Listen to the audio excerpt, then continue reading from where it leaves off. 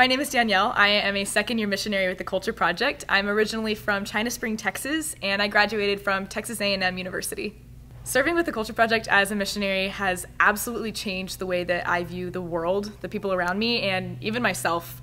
Uh, the things that we preach, you have to believe for yourself, and that's what changes a culture. It's being a witness of love.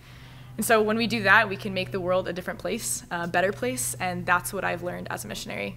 After giving one of our sexual integrity presentations, one student came up to me and she just got to confide in me something that she'd been really struggling with for years. And she said she had no idea who she was supposed to tell about it. And she said, I knew that God sent you here for me to tell somebody, and it was you. And just getting to receive her and tell her that she is so good and she is so beautiful no matter what she's been through, that was everything. Everything was worth it. Everything that, all the struggles that we go through, that was all worth it just because of this one girl getting to have an encounter with Christ. I think the Culture Project is actually opening up our eyes to the freedom that we have right before us. A lot of times the culture tells us that, you know, we need to do this to be free, be free to be ourselves by doing this and that. But being free is living a life with Christ.